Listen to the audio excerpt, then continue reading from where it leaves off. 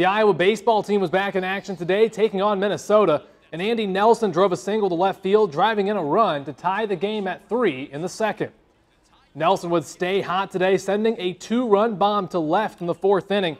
This was part of a six-run inning for the Iowa Hawkeyes that really broke this one open, gave them a 10-3 lead over the Gophers. A little bit later on, Ben Wilmes added some insurance in the eighth inning. He drives a two-run single up the middle. And today, the Hawkeyes cruise to a 14-6 victory over Minnesota. The third and deciding game in this three-game series is tomorrow at noon.